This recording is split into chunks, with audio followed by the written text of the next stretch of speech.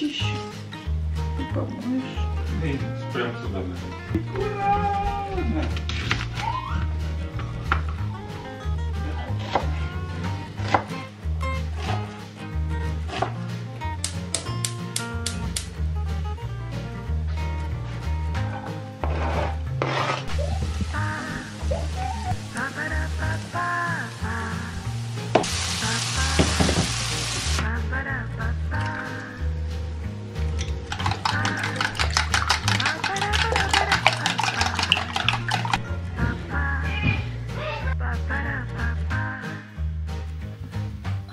Доброе утро. Последнее время готовлю завтрак на автомате. Еще не успела проснуться, уже у плиты. Пока приготовлю завтрак, ванна освобождается, и я могу спокойно причесаться, умыться и привести себя в порядок. А так сразу после сна иду прямиком к плите. Да, давай, давай. И это тоже давай. Вот так вот папа сел поработать за компьютер. Даша тут за всеми следит. Дедушка убежал на улицу, Максим закрылся. Папа работает. Даша нас держит всех в заложниках. Вот. Пришли домой, ходили с папой. Ой, на кладбище ходили, зашли в фикс прайс. Потом накупили фруктов полно для Даши. Ну подожди, не надо, она разобьет. Потом. Даша кушает э, виноградик, я ей купила без косточек. И зашли в Fix Price, набрала кучу всего. Сейчас разложу, покажу вам, что купила. Даша рассматривает, что я набрала. В общем, взяла в Fix Price 'е вот такого зефира. Маршмеллоу для кофе. Чак-чак, вот такой мы обожаем чак-чак. Взяли вот такой вот порционный. А, Как-то, наверное, месяц назад я снимала видео из Fix, из фикс прайса, и Максим Даше показывал вот такие вот штучки. И мне в комментариях написали, купите Максимке шарик, ему хочется. А я подошла, говорю, Макс, а ты бы хотел себе такой шарик? Он говорит, ну да, было бы классно. В общем, купила Максу. Принесла домой, Леша говорит, а мне? В общем, надо еще и Леше купить. Вот такая вот. Блин, красота. Потом воздушный рис взяла. Макс чак-чак не ест. Я ему вот контик взяла. О, вот такая папая очень вкусная. Блин, я не папаю хотела взять. Я хотела взять... А, что я хотела взять? Что я беру обычно? Манго сушеное. Папайя не такая вкусная. Батареек взяли. Вот такую шапочку взяла для Даши. Ну, может, она на нее великовата будет, но на следующий год будет хорошо. Она на 4 года идет. Такая красивая белая шапочка. Легенькая. Дальше. Взяла вот такую вот. Хотела 18 взять, но нашла только двоечку. Восьмерок не было. Взяла вот такие вот многоразовые наклейки. Даша очень любит их клеить. Но сильно рассматривать не будем, потому что у нас тут обзорщик сидит, смотрит. Вот. Вот такое вот украшение на елочку взяла еще. И вот такого вот ежика.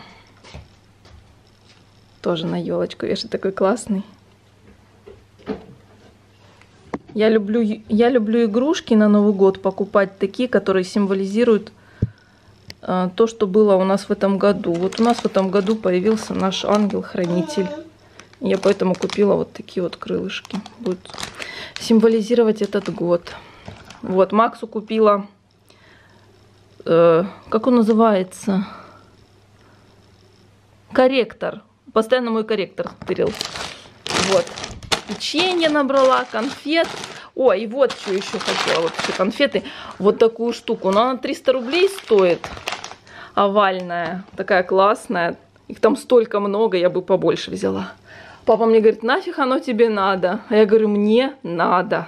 Ребят, вы только посмотрите, что я заказала на Wildberries. Решила заказать для дома ароматизатор с палочками, а он пришел в такой красивой стильной упаковке. Аромат себе заказала апельсин, жасмин и ванилин. Упаковка очень достойная. Все было очень хорошо упаковано, коробка, пупырка и самое крутое, это вот такой красивый тубус. На нем нанесен логотип бренда, а с обратной стороны уже указан аромат, который я выбрала. Мне кажется, что благодаря тубусу этот аромадиффузор заслуживает отдельного внимания. Его можно заказать даже для подарка на Новый год. Выглядит очень стильно, очень презентабельно. В тубусе у нас сам аромадиффузор объемом 100 мл и 5 фетровых палочек. А еще производитель кладет пробник другого аромата. Мне достался табак и бергамот. Кстати, мне было очень интересно э, послушать именно этот аромат. О, здесь есть пшикалка. Аромат достаточно интересный. И, кстати, я совершенно недавно узнала, что бергамот это цитрусовое. На Wildberries большой выбор ароматов по мотивам известных брендов парфюмерии, а также в линейке есть автомобильные диффузоры.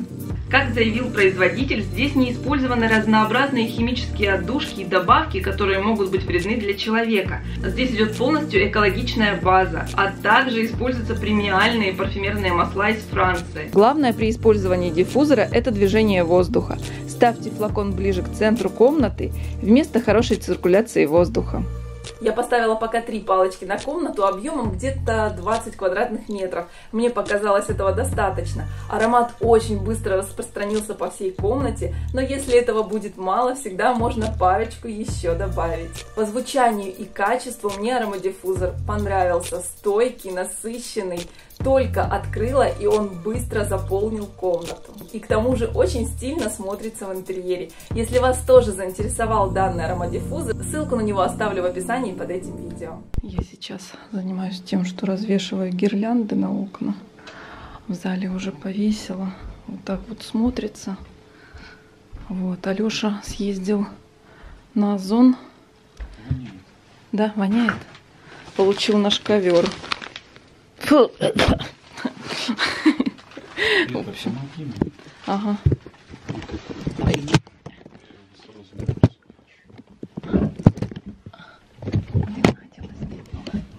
Подожди, я блузку просто так потянуть.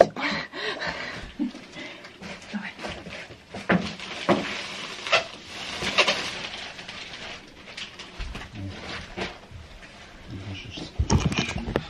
Вот такой коврик заказала на Озон. Он стоил всего, ну, тоненький такой. А, стоил, по-моему, полторы тысячи. Вот. Он небольшой, его можно будет, если что, мыть, выбивать, выносить, не тяжелый. Пока Даша ползает по полу, играет, пусть будет на полу. Я вообще противник этих ковров, но с маленьким ребенком ковер необходим. У него присутствует запах. Сейчас Леша его повесит, чтобы он выветрился. Вот Дашин тоже купили, он вонял, потом выветрился. Вот. Ну, уже не воняет. И вот так вот смотрится. Ой, я не знаю, где я буду сушить белье, когда мы елочку поставим. Столик разберем, а белье, наверное, в прихожке будем сушить.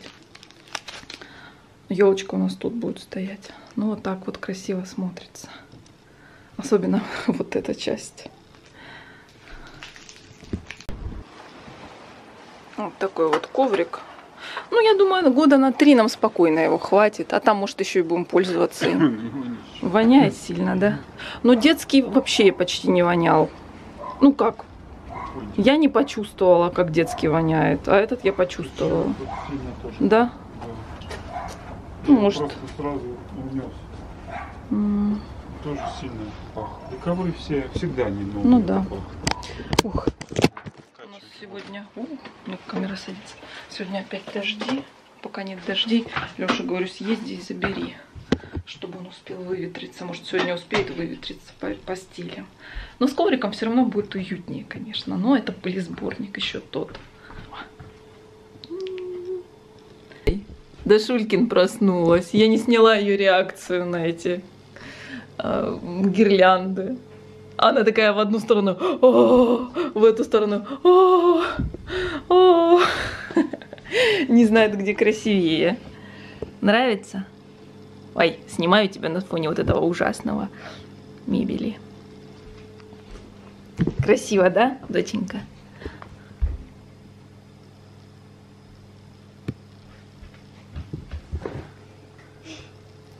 Красиво. А ты что сзади Главное, уже не сняла. Как она радовалась.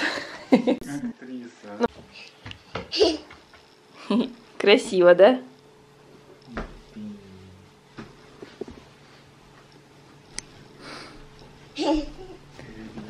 Так, на кухне тоже повесила. Сначала неправильно повесила, теперь перевесила, потому что штору мы эту зашториваем. Сейчас здесь цветок стоит. Вот. Такая красота. Наверное, пока стремянка здесь, я, наверное, сейчас и в спальне повешу сразу.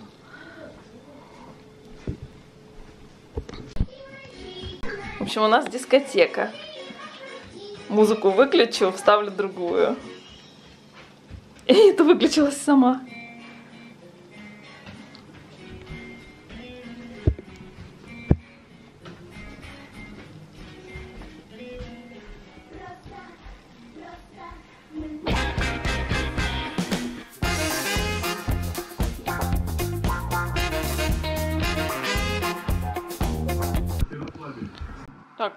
Вот коврик я заказала. Небольшой, чтобы можно было его вытрусить, выбить. Ну, и тем не менее, чтобы Дашенька на нем игралась. В общем, Даша обрадовалась. Я с этой стороны буду снимать. Вот тут вообще жесть.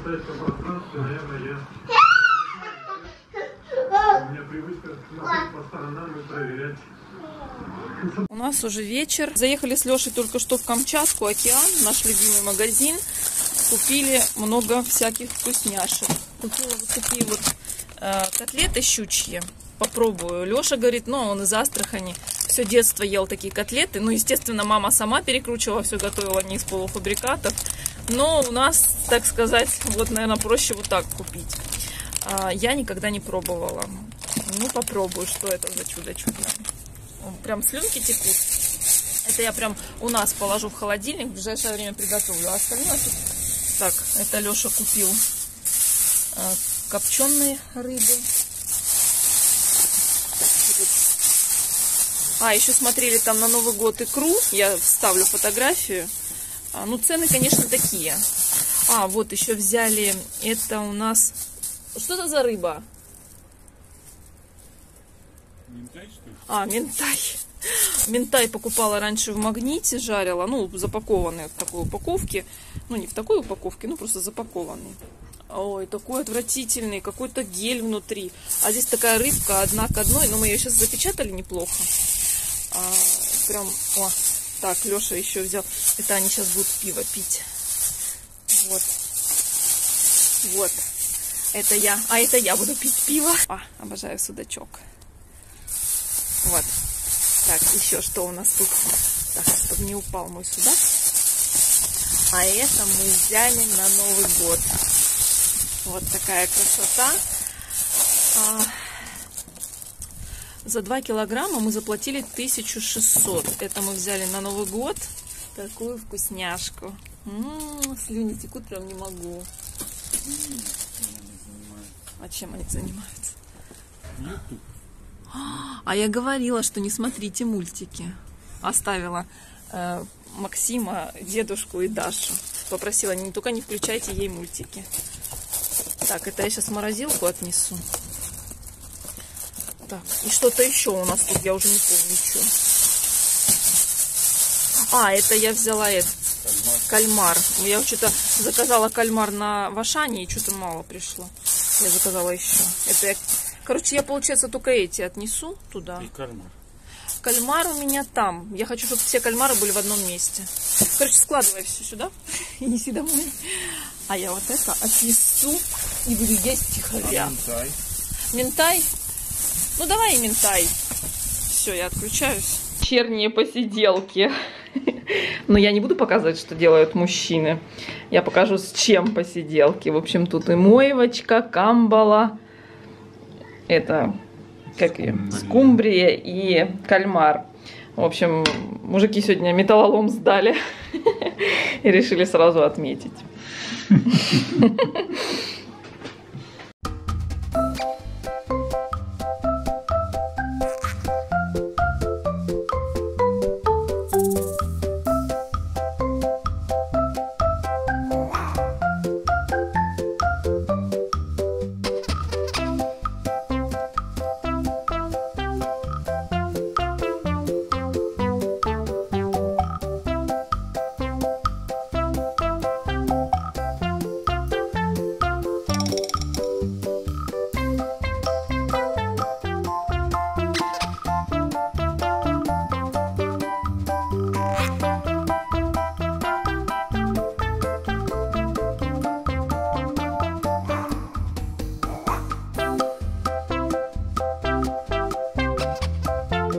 нас каждый раз, когда дедушка чистит картошку, да, Даша ему помогает. Садится рядышком и тоже чистит. Морально, мысленно. Не чищу, скажи, мама, что ты наговариваешь?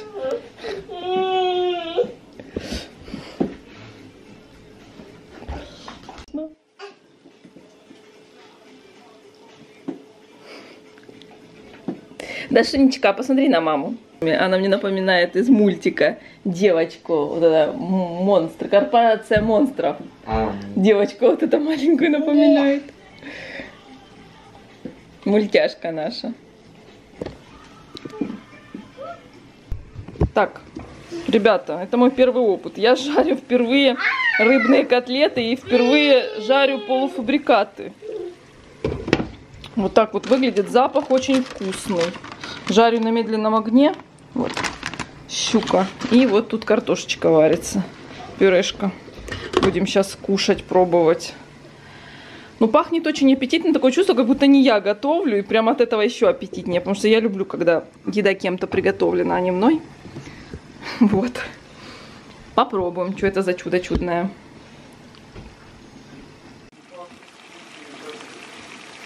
Леша говорит, пахнет щучьими котлетами. Наверное, нужно масло добавить. Я их... Э, написано, что нужно с каждой стороны обжарить... Ой, кстати, я не засекла время. По 10 минут. Так, сейчас таймер поставлю. Поэтому я жарю на медленном огне. Они были замороженные. Прям сразу на сковородку. Ну, я и правда первый раз жарю эти полуфабрикаты. Так интересно. Так что, может, вам будет смешно, но для меня это будет первый опыт. Я скажу, что жарить их вообще, блин, поставила, они сами жарятся, не надо заморачиваться. А, если нам понравится, я прям хочу заготовки такие покупать, потому что иногда просто совершенно не хочется готовить. А тут просто поставила, оно само приготовилось. В общем, вот сколько мне открытий чудных готовит э, полуфабрикат. Ням-ням.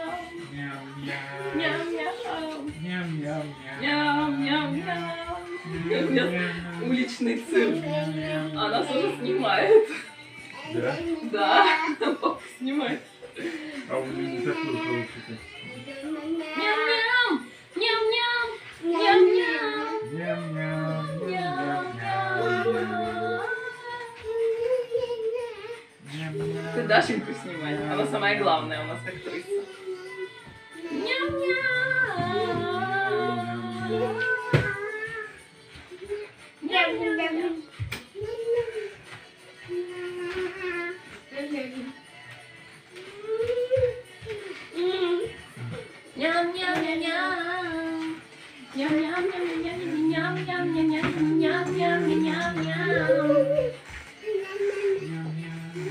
Да, хорошо жарить такие котлеты. Просто стоишь, песню поешь. Да? А они жарятся. Да. И...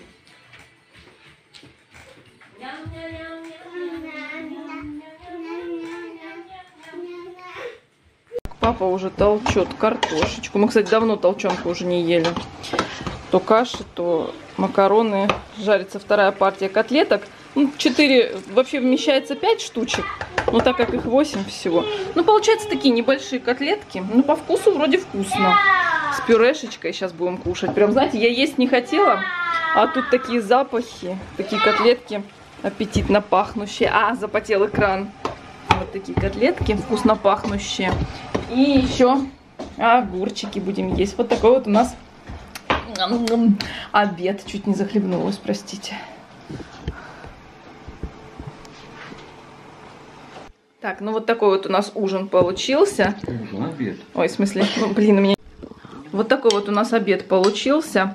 Сейчас вместе с вами попробуем котлетку. Оп.